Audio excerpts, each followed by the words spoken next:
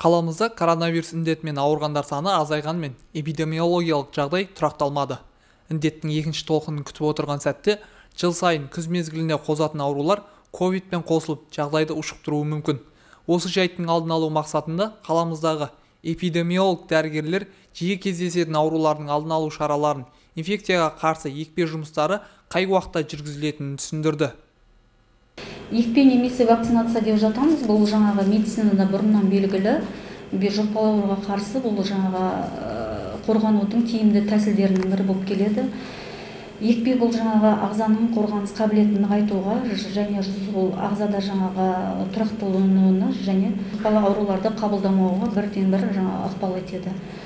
Жалпы бізде осы жаңағы екпе бұл қазақстанда жаңағы бізде осы қазақстанда елімізде жаңағы ұлттық жаңағы не күнтізбе ұлттық күнтізбеміз қалыптасқан бекітілген.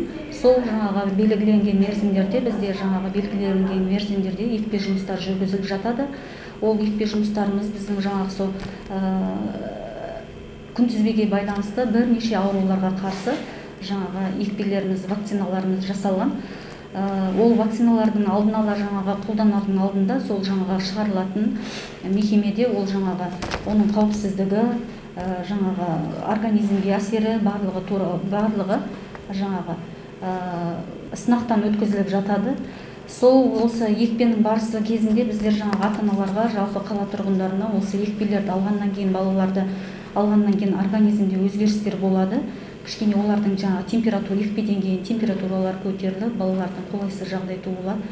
Осы осы кезде екпені алған кезде біздер жаңағы ата аналарға айтатынымыз кішкене жаңағы балаларды екпе алған күндері жаңағы далаға серуендеуге шығуға басқа балалармен жаңағы қарым қатынасын үзуге жаңағыдай шомылдыруға үш төрт күнге жаңағы тыйым салынатынын айтып отырамыз.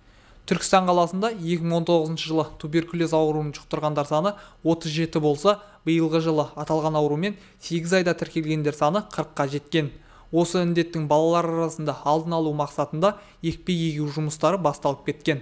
Қаламыздағы мектеп оқитын 64.250 балаға екпе егу қарастырылып отыр екен. Аурудың бірден бір алдын алу жолы ә, туберкулезге қарсы екпе жұмыстарын жүргізу. Ә, туберкулезге қарсы екпе жұмыстары бцж вакцинасы арқылы жүргізіледі. Бұл екпенің біріншісі перзентханада нәресте туылғаннан кейін үш күннің ішінде салынады ал ә, ревакцинация яғни қайталап егу деген ә, ол ә, мектеп балаларының бірінші сыныпқа барған мектеп оқушыларына қайталап егу жүргізілу қажет.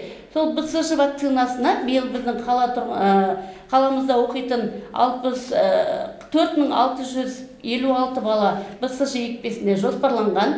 Осы балдарға қайталап егу жұмыстары жүргізіледі. Алайда сіз ата аналардан осы жоспарланған балаларды манту екпесін уақытылы бцж екпесін уақытылы ектіру және қарсылық білдірмеулерін сұранамыз. Пандемия салдарына байланысты жрви және тұмауға қарсы егу жұмыстары ағымдағы жылдың 15 қыркүйегінен басталады екен. Тұмаудың асқынуынан пневмония туындап орталық жүйке жүйесінің зақымдануына алып келуі мүмкін.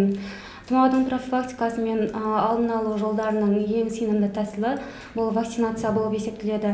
Қазақстан республикасында тұмауға қарсы профилактикалық егулер профилактикалық егулердің ұлттық күнтізбесіне сәйкес қауіпті топтарға жергілікті бюджет есебінен жүргізіледі.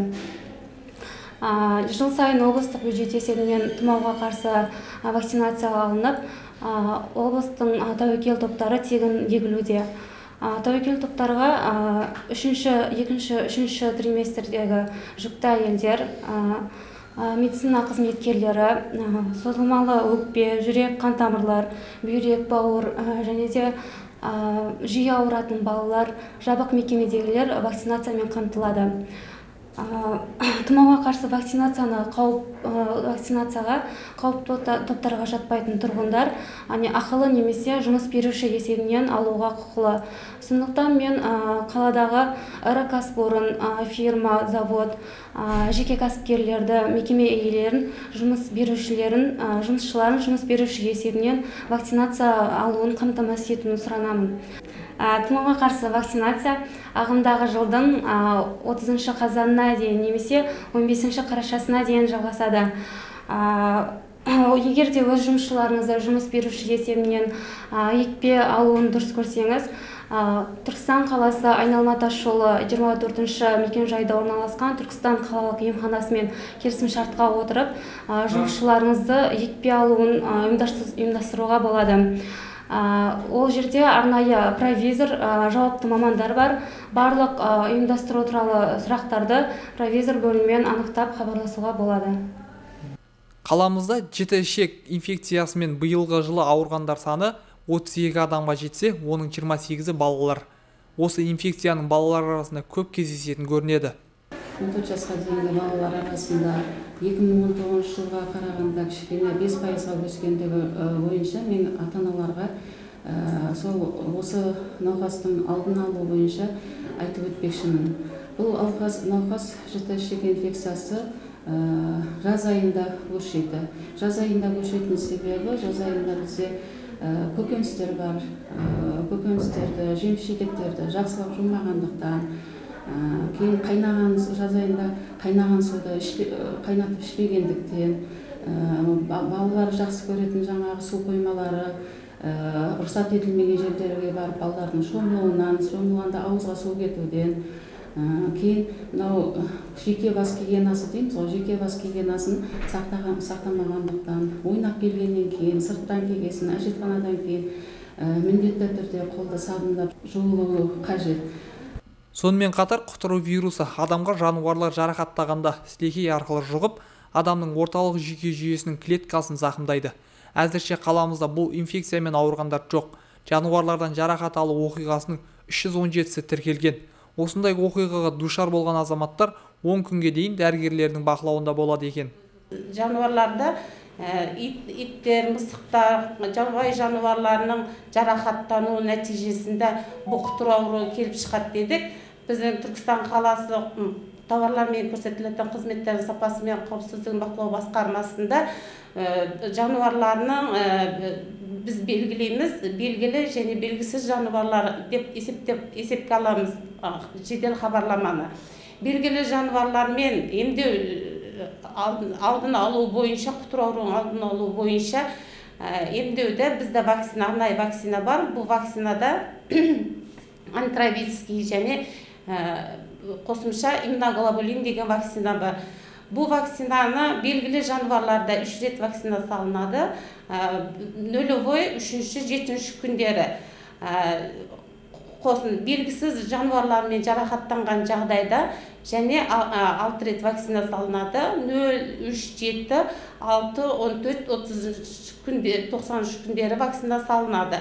Бұл вакциналар бізді түркістан қаласында емкіту кто емханасының арнайы травмпункті бар сол жерде круглосуточный дейміз. Сол жерде егу жұмыстарына жүргізеді. Бірінші рет сол жерде жүргізіледі. Одан кейін ары қарай әр ненің аймақтық нелер емханаларында арнайы емханаларында жалғастырады. Бұл вакциналарны график бойынша уақытылы алыну керек дер кезінде алыну керек белгілі жануарлармен жарақаттанған кезінде антравирусский вакцина салынады қосымша қосымша множественный кушание дейді бірнеше ретіне жарақаттанған болса ол жағдайда бізде неде қосымша иммуноглобулин деген вакцинаны қосымша салынады аталған аурулардың басым көпшілігі жеке бас гигиенасын сақтамау себепті жұғады. Коронавирус індетінен де тазалық сақтап санитарлық талаптарды ескеретін болсақ аурудан толық айығар күн алыс емес екендігін ескертеміз. Бағдат ерсейіт медет бірәлі тұран түркістан.